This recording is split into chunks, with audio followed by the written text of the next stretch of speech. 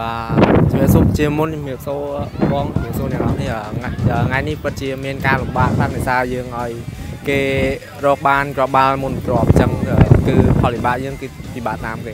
បាទចំពោះកម្រិតរបស់ភ្នំពេញគឺយើងអាចមើលស្រាលគូប្រកួតក្រុមណាមួយបានហ្មងដោយសារការរៀបចំរបស់ក្រុមនីមួយៗគឺកម្រិត19គឺសិតតែមិនធម្មតាមកបាទដោយសារតែដំបូងឡើយគឺ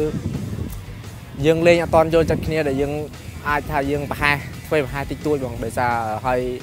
តង់ទី2ចូលចុងម៉ោងក៏យើងខិតខំប្រឹងប្រែងទាំងអស់គ្នាដើម្បីឲ្យអឺលទ្ធផលវាបានផ្សារឡើងជាងមុនបាទខ្ញុំជាជាដំបូងខ្ញុំសូមអរគុណទៅដល់អ្នកគ្រប់គ្រងដែលតែងគ្រប់គ្រងរូបខ្ញុំបាននិងក្រុមបាល់ទាត់ទី2 MPFC ក៏ដូចជាបាល់ទាត់ជាមួយជាតិកម្ពុជាយើងទាំងអស់គ្នាផងដែរបាទ